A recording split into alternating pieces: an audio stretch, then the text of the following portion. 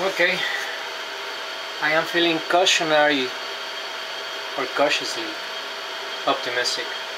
It only took me about a week to connect this laptop to the CNC board. I managed to connect the sensor. Okay. This thing. It's connected.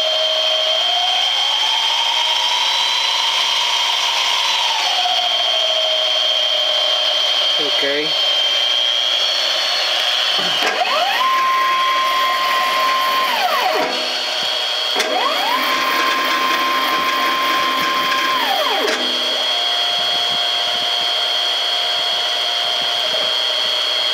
Also I managed to connect the, the power switch of this old computer is connected to the power. I just literally activate the, the solenoid and that way I can give myself the privilege to just turn around and, and mold my tool